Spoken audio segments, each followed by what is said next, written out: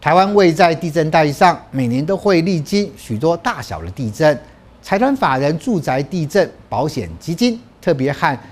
台东正声广播电台合作，办理了一百零八年住宅地震基金地震防身术的台东场讲座活动，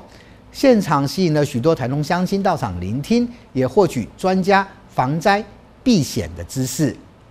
台湾位于欧亚大陆板块与菲律宾板块的交界处上，每年都会发生许多大大小小的地震。政府针对地震也规划出相关地震保险基金。台东正声广播电台特地与财团法人住宅地震保险基金共同合作，办理一百零八年住宅地震基金地震防身术台东场讲座，吸引许多台东乡亲到场聆听。根据那个财团法人。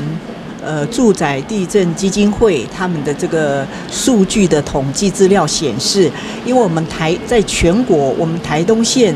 旧住宅还有住宅的。投保地震险的比率是全省最低的，所以呢，他们这次就选择我们台东做第一场的一个呃演讲，主要是要利用这个机会呢，宣导我们台东所有的县民能够有这样的一个观念，能够利用这个机会呢，能够投保地震险，它能够保障我们第三